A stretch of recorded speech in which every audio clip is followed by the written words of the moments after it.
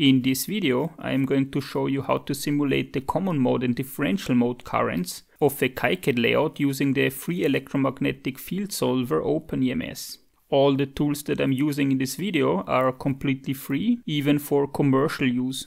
We specifically will review how well the layout of the input side of this buck converter was designed. For this, we will inject some noise at the input pad of the buck converter IC, and then we will have a look on how much common mode current will be measured by the current probe. If you are new to this channel, I recommend to first check out the tutorial video on how to install OpenEMS. The link to it is in the description. First download the KiCad layout from the link in the description and please open it with KiCad 6 to make sure that you can open the file.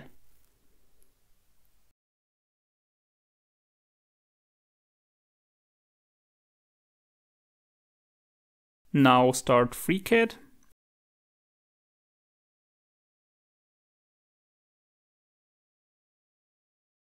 And create a new project.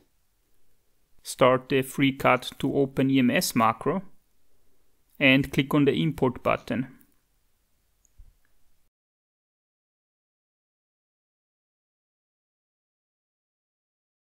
After that select the KiCad layout file.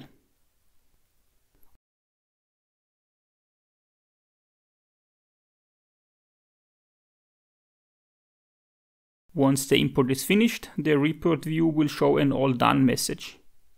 Close the macro window. In order to reduce the simulation times, I will define the vias as full copper vias. For this expand the copper object, mark these two items and fuse them. The new object will now have fully copper filled vias. The next step is to add an injection port I will place it here between the input pin and the ground of the buck converter IC. Actually, if you want to be more exact about the positioning, the port would need to be placed inside the die of the DPAK package. For this simulation, we're okay with the simplification of injecting the signal into the PCB pad.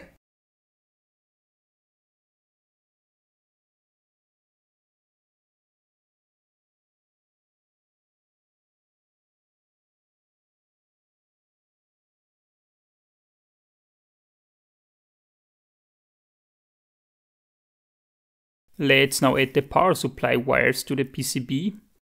I do this by adding a few cubes and resizing them into the shape of a wire.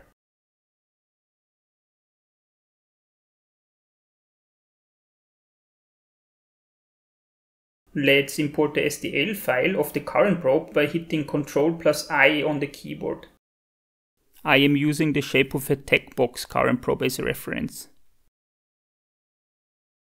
Let's now make all the components slightly transparent by first marking them in the object tree, then go to the View tab and set the transparency to 90%. Now you can move the wires through the current probe by adding two additional cubes and reshaping them. In OpenEMS, there is actually an easier way to measure the current instead of modeling this current probe. We will just add a rectangle and measure the current that is passing through its surface. This will in return measure the common mode current. Ideally, the common mode current would be zero.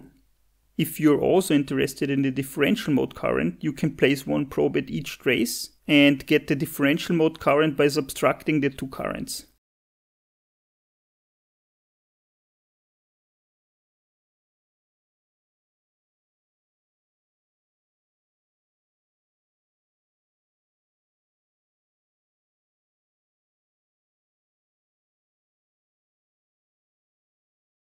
Now create another box and call it air and set it to the following size and position.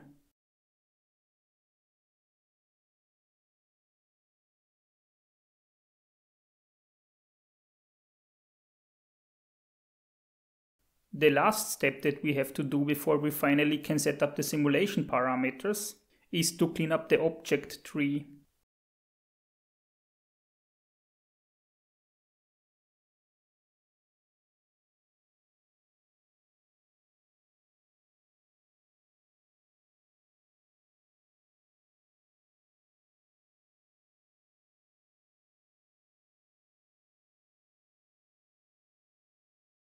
We are now done with defining all the components. Let's save the FreeCAD project and open the FreeCAD to OpenEMS macro. Go to the Grids tab and define the grid.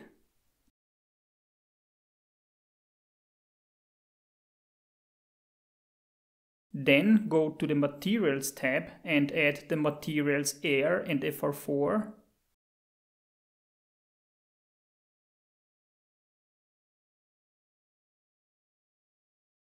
In the Excitation tab, define a step function. In the Port Settings tab, define the input port. The direction will be negative y direction.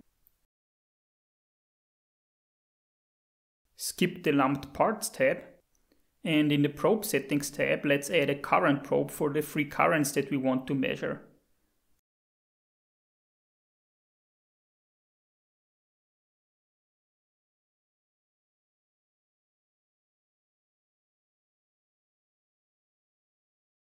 Now set up the simulation params tab.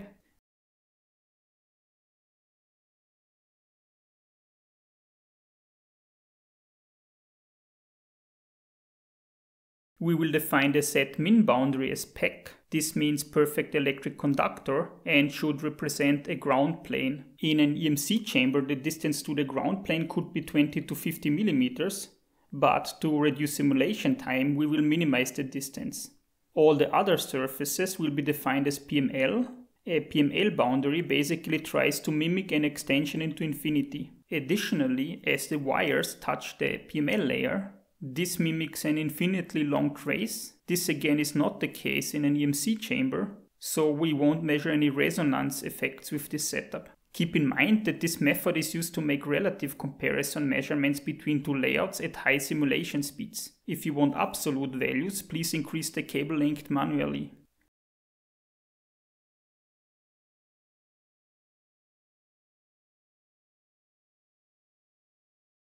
Now go back to the Object Assignment tab and assign all the objects. The end result should look like this.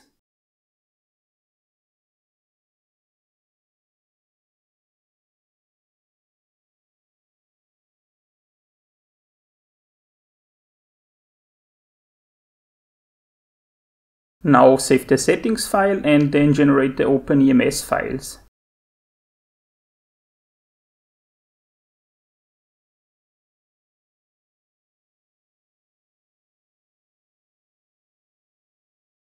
Click OK, go to the simulation output folder and open the MATLAB code with Octave.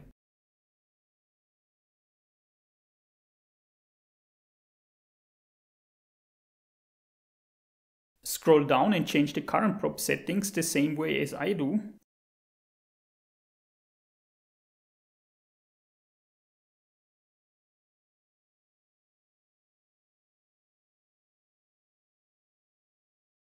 Once you're done with the changes, you can run the MATLAB script.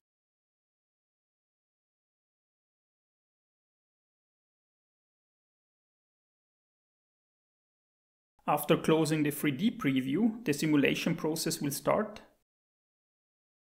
The simulation now will take up to a few hours. Once finished, please go to the simulation output folder, open the common mode current output, remove the header information,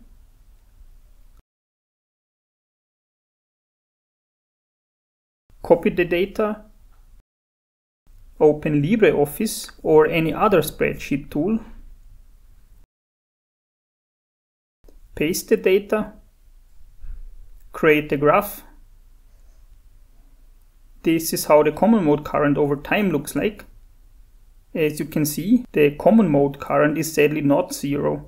If you would increase the number of time steps and rerun the simulation, you could see how the oscillation drops over time until the common mode current disappears. Let's now convert this data to the frequency domain via FFT. For this, go back to the text editor, remove the first line so that only the numeric data remains, save it as a text file,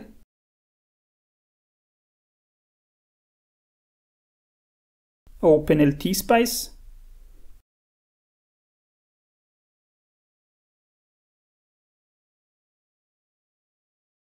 create a new project and create a voltage source. Connect it to ground, add a label and call it initial layout.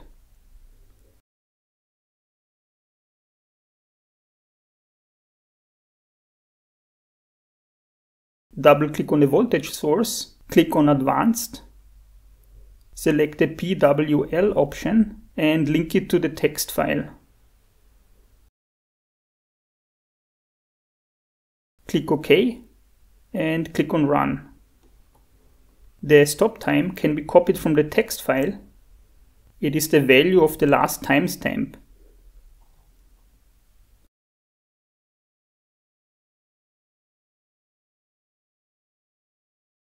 Click OK. Once the graph is drawn, make a right click inside the plot window, select FFT and click on OK. The FFT already shows some data, but the graph starts at around 500 MHz. To get data for the lower frequencies, you have to increase the number of time steps in FreeCAD and rerun the macro. Here is the data after rerunning the macro with 200,000 time steps. And here is the data after improving the layout slightly. I simply place the power pins closer together. This very simple change reduced the common mode noise by almost 5 dB, all the way up to 500 MHz. This here is what we call a resonance shift. It is a quite typical behavior when dealing with EMC issues, but anyway, this video is about showing you how to perform such simulations. We can talk about potential improvement steps another time. Alright, so why is the initial layout not performing that well? After adding a J-field probe to the simulation, we can get following output.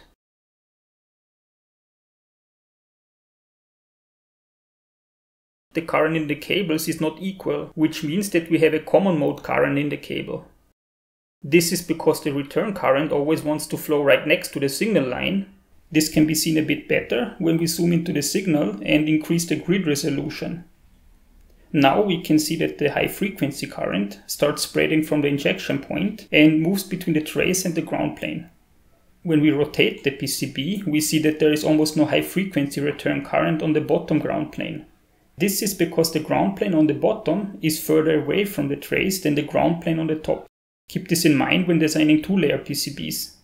Let's also add some current vectors to see the direction of the current. As shown here, the trace current is going into this direction, while the return current flows into the opposite direction. Also please note that the return current is not flowing away from the trace and then back in a circle, but instead the signal and return current start to flow at the same time, and both are spreading away from the source in all directions. Before ending this video, here is another small tip on how to increase the utilization of the bottom ground plane. You can add some vias from top to bottom ground. This will add a low impedance path to the ground below. Thank you for watching and see you in the next video.